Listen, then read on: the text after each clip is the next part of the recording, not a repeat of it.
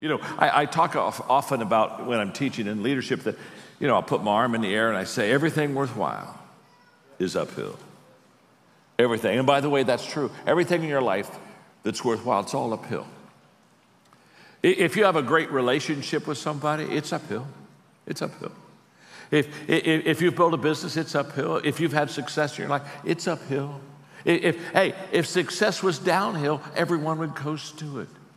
If relationships were all downhill and you didn't have to work for them, everybody'd stay married. You see, the challenge is in our life, we have high hill, we have high hopes. We have uphill hopes, you follow me? But we have downhill habits.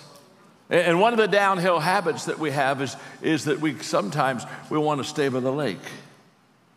And, and, and Jesus says, you know what, I'm going to climb. And, and, and by the way, I, w- I, want you to, I want you to climb with me.